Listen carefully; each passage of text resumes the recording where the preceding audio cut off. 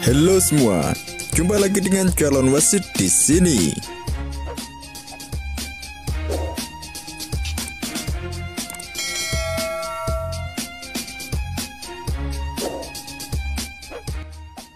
Persib Bandung akan bertandang ke markas Arema FC pada pekan kedua Shopee Liga 1 2020.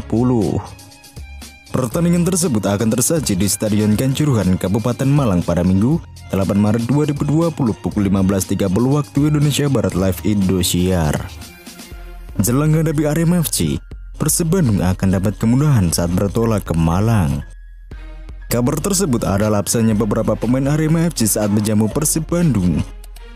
Tim Bralia Singoedan itu terancam kembali tak diperkuat tiga pilar asing mereka, yakni Jonathan Bauman, Elias Alderete, dan Matias Malvino.